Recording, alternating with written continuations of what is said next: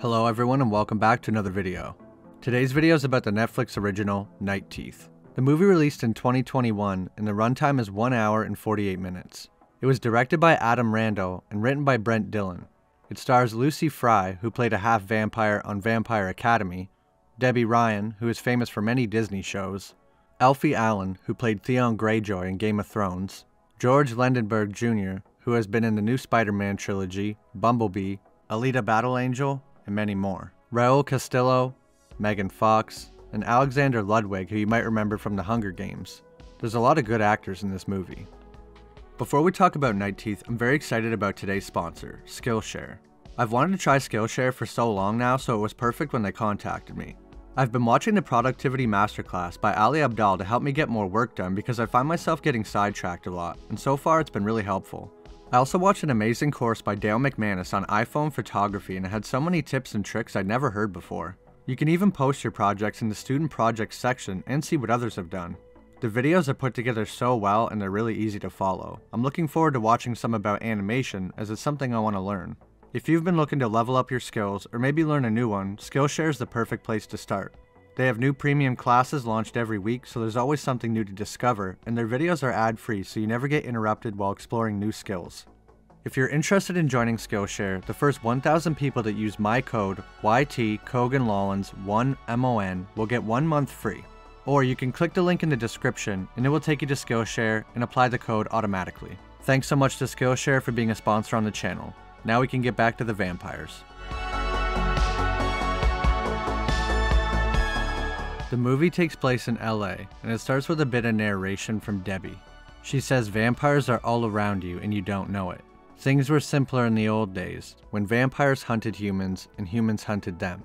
In Los Angeles, no one fought harder than a place called Boyle Heights, so the vampires struck a truce with them to maintain peace between both species. Vampires will follow rules and would live in secret, and the humans wouldn't hunt them or expose them. Eventually, humans forgot all about vampires being real, they made vampire books and movies, but got most of the details wrong. While living in secret, vampires became rich and more powerful than you could imagine. There are still some humans that uphold the truce and keep vampires secret, as long as they follow the three rules.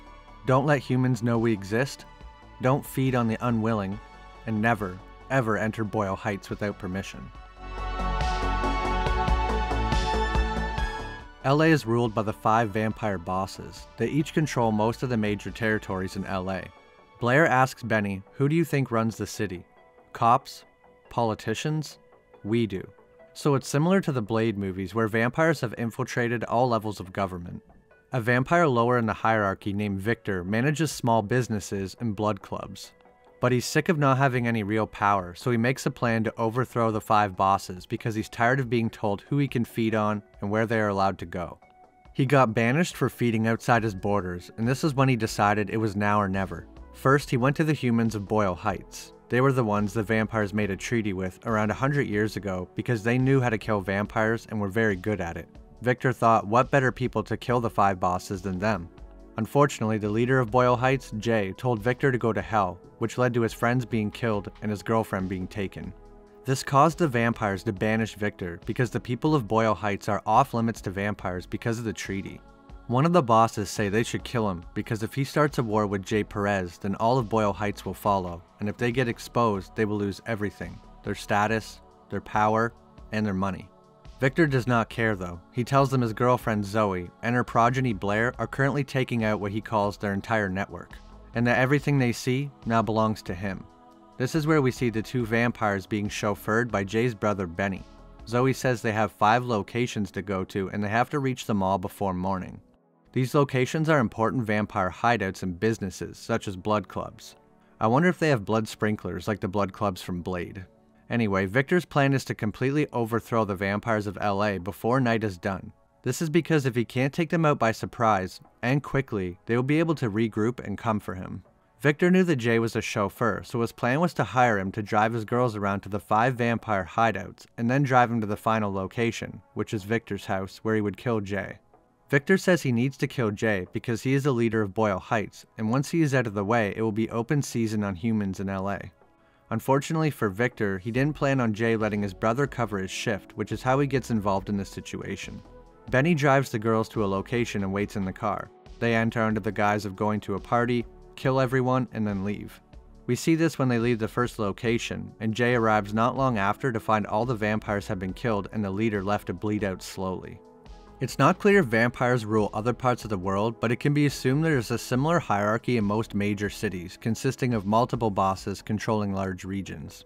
But vampires might be allowed to feed on unwilling humans or have totally different rules in different cities.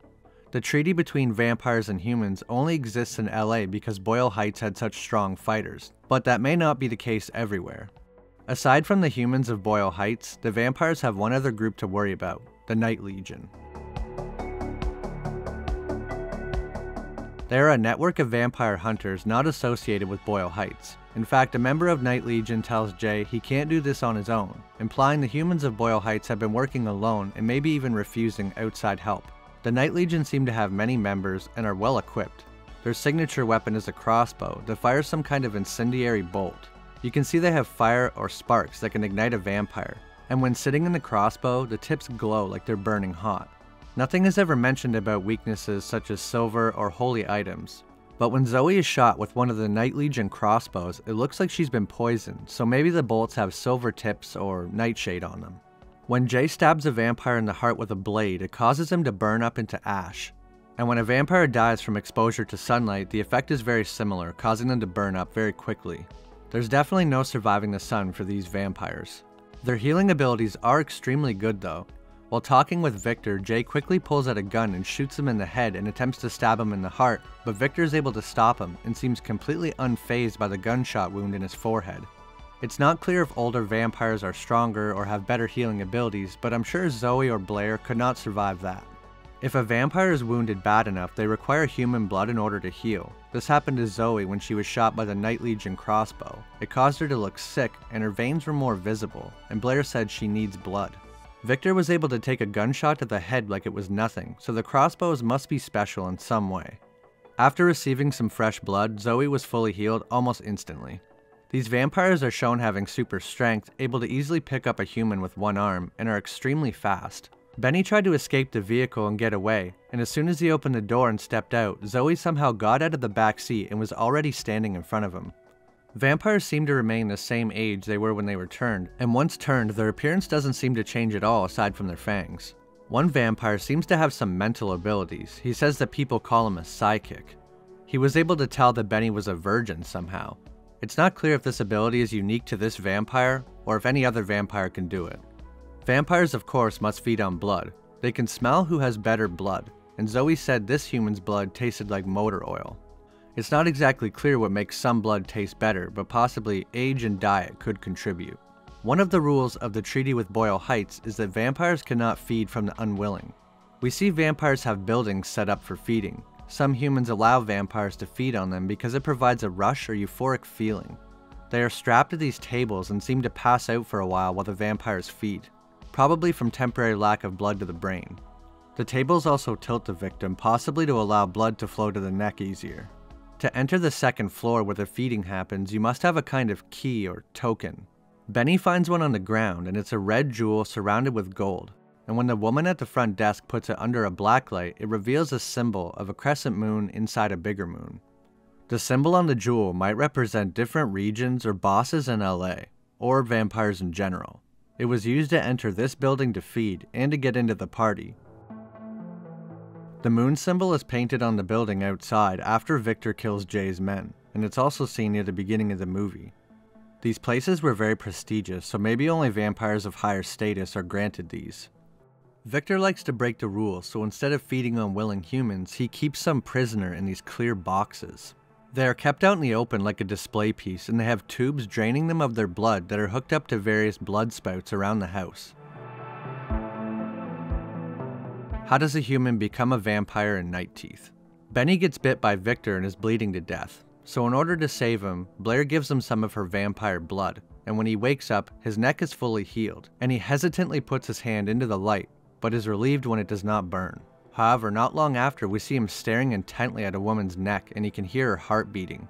But like I said, he wasn't burned by sunlight, so maybe you very slowly turn into a vampire and develop a weakness to sunlight. Or maybe he isn't a full vampire yet, and he might need to feed or something to finalize the transformation. The third option is somehow he turned into a dhampir, or half vampire, but that's unlikely.